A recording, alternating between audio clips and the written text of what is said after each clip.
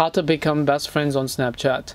Hi everyone, welcome back to our channel How to Geek. In today's video, I'll simply show you how you can add someone as your best friends list on Snapchat, so make sure to watch the video till the end.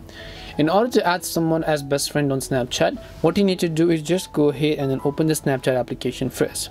Then if I come to my chat page, you'll be able to see the smiley emoji right next to my people's name. They are simply called my best friends on Snapchat. So if I go ahead and show you as well, if I come to the my friends section here, you'll be able to see best friends. So what are best friends? Best friends are basically the one of the most frequent people that you snap and exchange snaps with each other on Snapchat platform. So there isn't a specific algorithm and a button to go ahead and add them directly to your best friend. When Snapchat notices that you constantly exchange snaps between each other, they're going to automatically add you to their best friends list. So you just have to keep that in mind. There's also another thing known as the very very best friend. When you get to the very very best friend section, you're going to have a yellow heart icon right next to that Snapchat friend or that Snapchatter and that's basically how you can add best friends. So as I said, there isn't a specific button so that you can go ahead and just tap on it. All you need is that you have to go ahead and first of all just exchange frequently snaps with them and then they will be automatically added to your best friends list and that's all it takes to add best friends on snapchat. We hope the video was really helpful and if it did help you then make sure to leave a like and subscribe to our channel.